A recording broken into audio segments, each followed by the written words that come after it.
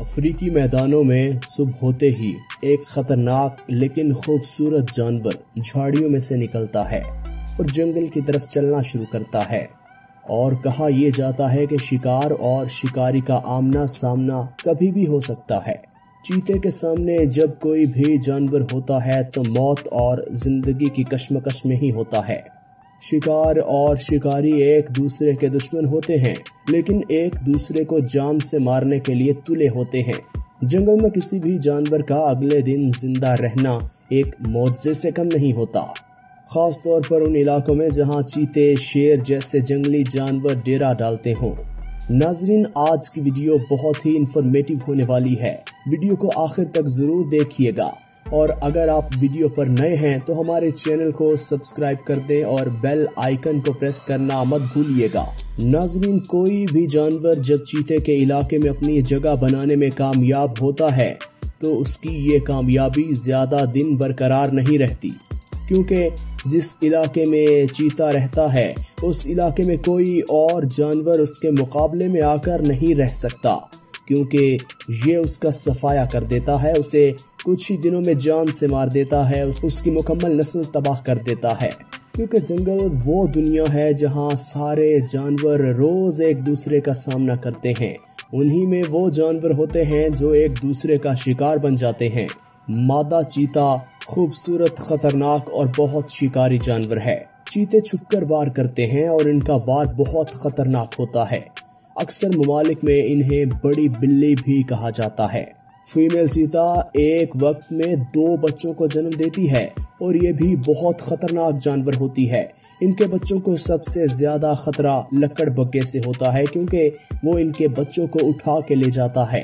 अक्सर ऐसा देखा गया है कि जब लकड़ बग्गा इनके पास भी डगमगाता है तो वो कुछ ही देर बाद मौत की नींद सो चुका होता है क्योंकि कौन है माँ ऐसी जो अपने बच्चों को दूसरे जानवर के हाथ जाने दे? नाजरीन, चीते का शिकार करने का अंदाज आप देखें। किस तरह खामोशी से अपने शिकार को ताकुब करके बैठा हुआ, आहिस्ता आहिस्ता झाड़ियों के पीछे छुपकर शिकार के पास पहुँचता है। इतने धीमे कदमों से चलता है कि सामने वाले जानवर को इस बात का इल्म न हो कि उस पर कोई हमला आवर होने वाला है। इसके नोकीले दांत, इसका ताकतवर जबड़ा और इसके मज़बूत और ताकतवर पंजे इसको भागने और शिकार करने में बहुत मदद देते हैं। जंगल में इसका सबसे पसंदीदा शिकार हिरन होता है और जब इसके सामने आ जाए तो इसके मुँह में पानी आने लगता है। तो फिर ये ना चाहते हुए भी इसको शिकार बनाने की कोशिश करता है। हिरन हमेशा ग्रुप में रहना पसंद करते हैं और ग्रुप में ही वो सारा दिन गुजारते हैं। और चीता अकेला ही काफ़ी है और शिकार करने की ताकत रखता है। देखिए कितनी खामोशी से ये चीता हिरणों के ग्रुप में पहुँचा और उन पर झपट पड़ा। इनको इस बात का इल्म है कि हम किसी न किसी हिरण को दबोच ही लेंगे, और होता भी ऐसे ही है। पूरे ग्रुप में किसी एक को ये दबोच ही लेते हैं, क्योंकि हिरण अच्छा खासा जानवर है। न सिर्फ़ एक चीते का, बल्कि एक हिरण को शिकार करने के बाद इनकी पूरी फैमिली का सरवाइव हो जाता है। और एक डॉक्यूमेंट्री के मुताबिक हिरन पूरे जंगल में वो वाहिद जानवर है, जिसका सबसे ज़्यादा शिकार किया जाता है। क्योंकि जब भी कोई बड़ा शिकारी जानवर हिरण को शिकार करने के लिए उसका पीछा करता है तो वो ज़्यादा देर भाग नहीं सकता।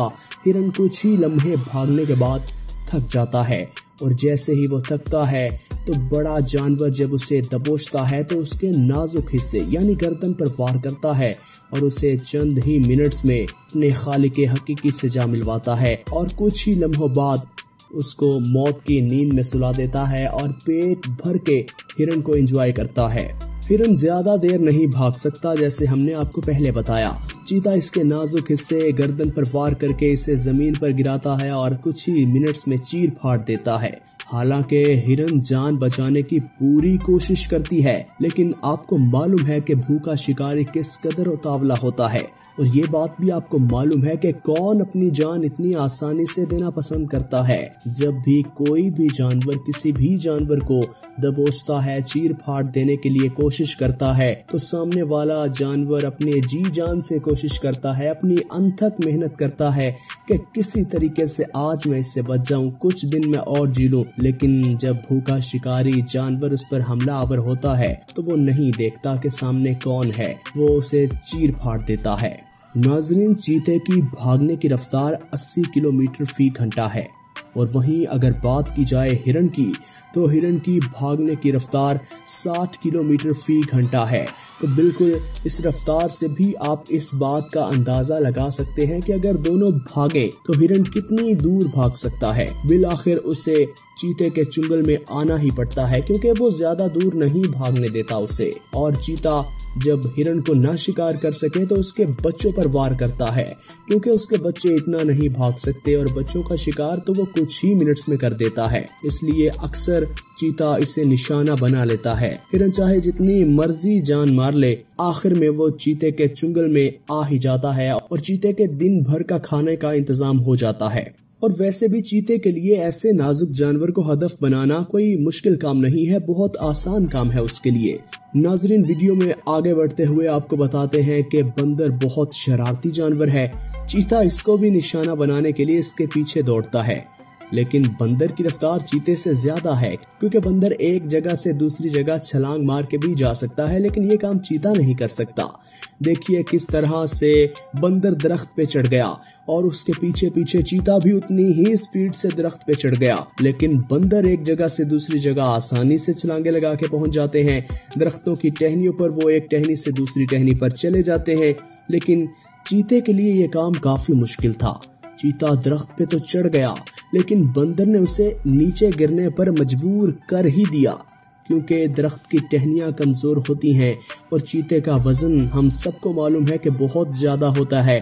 कमज़ोर टहनियों पर जब चीते ने एक जगह से दूसरी टहनी पर छलांग लगाई तो चीता फ़ौरन से ज़मीन पर आ गिरा। और देखिए, चीता कितना शर्मिंदा होकर इधर उधर देख रहा है कि कोई मुझे देख तो नहीं रहा।